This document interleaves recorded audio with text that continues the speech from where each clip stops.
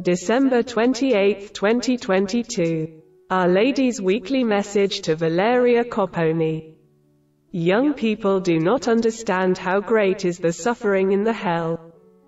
In this message that Our Lady gives to the Italian visionary Valeria Copponi, we find many words and phrases addressed to young people who unfortunately are always moving away from God and especially from Jesus.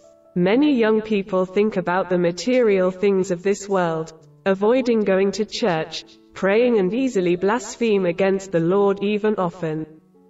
This situation is critical and all these young people do not understand that the suffering in hell for their damned souls will be terrible if they do not convert and follow the Lord's way on this earth. Let us read the message. Mary Most Holy the True Mother. My child, pray for all your unbelieving brothers and sisters for there is very little time left for their conversion. I always pray for all my children, but like every mother I pray for my neediest children. You cannot imagine how many young people no longer walk through the church door. They waste their time behind so much nonsense, even at night they go out into the streets of the world to blaspheme the name of my Son.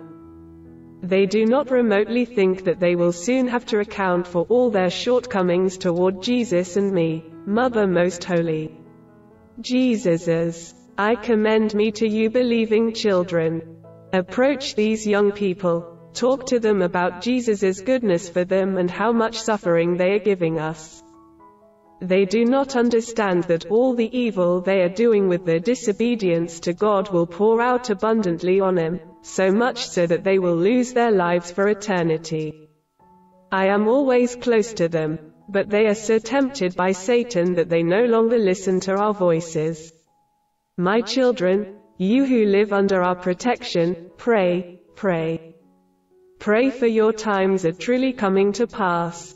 These poor young people do not realize how great will be their suffering in the underworld.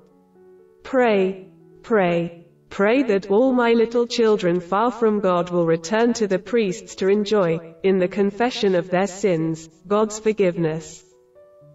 I love you so much and I want you all with me.